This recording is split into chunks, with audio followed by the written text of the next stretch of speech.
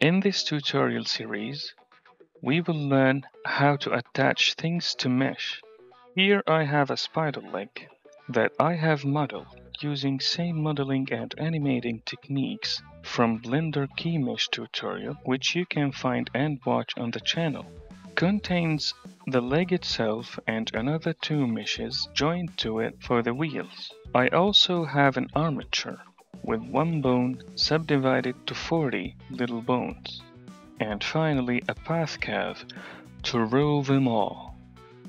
Now I will do a spline IK, just like we did in Blender Key Mesh tutorial as well.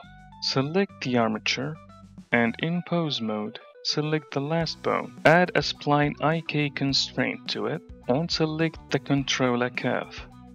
Increase chain length to 41 and now it's rigged. Now select the mesh with the armature next and set parent with Ctrl P. Choose with automatic weights. Now when I edit the curve, the whole thing will be deformed, but not as intended. Notice that the wheels are not rotating properly with the leg and act weird. To solve this, I will go to the edit mode and select both wheels, hit P and separate by selection. Now they are a separated object. Select them, then the armature next, simply choose bone this time.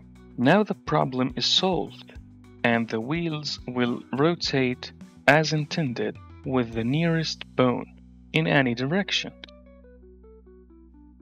and you're done.